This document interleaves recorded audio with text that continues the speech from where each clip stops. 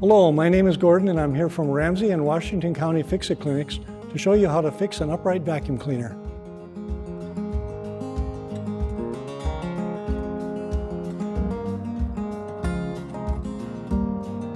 So with these uh, typical upright vacuum cleaners, the problems we usually have are, is a broken belt. And the belt assembly is usually accessed from the bottom of the vacuum cleaner. And of course, one thing you always want to make sure is for safety reasons is make sure the, the vacuum is unplugged. And one way to check that, of course, is always is check the power switch to make sure it's actually unplugged. And then what we want to do is get into the bottom assembly. We remove the bottom plate. In this case, it's well marked with a couple of red pieces of plastic here so we can remove this bottom plate. And that gives us access to both the rotating brush and the belt assembly. And we get in here, and of course, what we usually find in these vacuums is they're pretty messy. So you want to maybe do this in a place like on the floor or even in your basement or someplace where you can expect to have a bit of a mess. So in this case, the belt is, is uh, running through this little assembly here.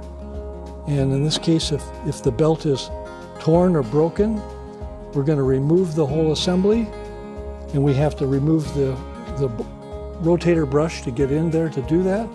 And then the belt is removed and then we put in our new belt.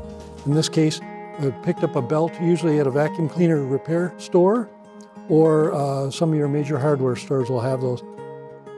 So one thing we find is, is this this rotator brush, sometimes also called a beater brush, is it's covered with either things like yarn, string, lots of hair, and what we want to do is remove all of that.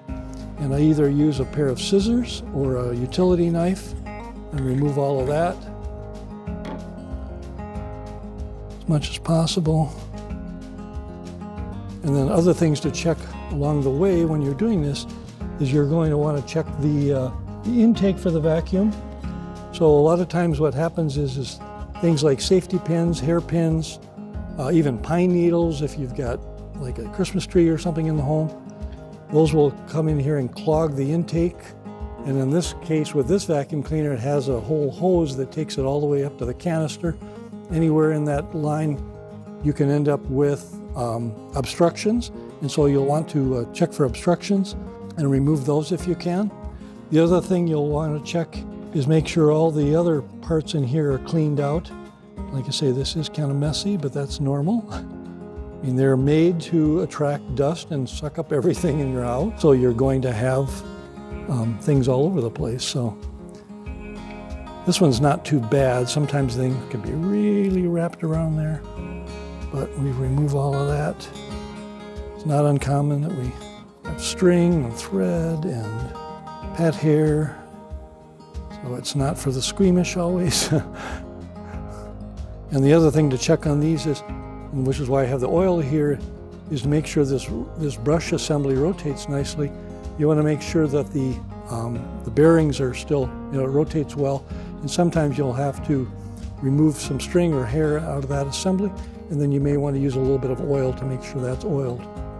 The one thing you may run into sometimes is if you have a smell of burnt rubber or burning smells, you'll want to check to make sure it's not the motor assembly. If it's the motor, that may take where you have to go to uh, actually take it to a vacuum repair place and have them replace the motor or buy a new vacuum. If, if it's more of this assembly, you may be able to uh, replace this beater brush or br uh, rotating brush assembly, or you can uh, just clean it up enough to oil it and put it back into service. And then we put our belt in this case, you want to make sure the brush is going in the right direction. In this case, it's on the on this this far side. And we'll put the brush assembly back in. Sometimes it's easier to put the put the belt on the motor connection first back here and make sure that's clean. Thread the belt underneath this assembly here. In this case, what I like to do is put it on the motor first. And then line these this brush assembly back up into the slots. There we go, goes right back in. Make sure it's lined up, make sure it rotates freely. It does, we don't even have to turn it on to check that. If you hear noises, you may want to check again, like I say, for safety pins or things like that, or paper clips. And then with these, a lot of times there's little slots for this, this cover assembly to go back in. And it snaps down into place. Don't force it because being plastic, it could break. And we just slide these back and it looks like it's good. So, and we don't hear any noises, so I think we've completed cleaning out this vacuum cleaner. So, so then you can put it back into service. and check it out, make sure it works. You can learn more about fixing everyday items at these websites.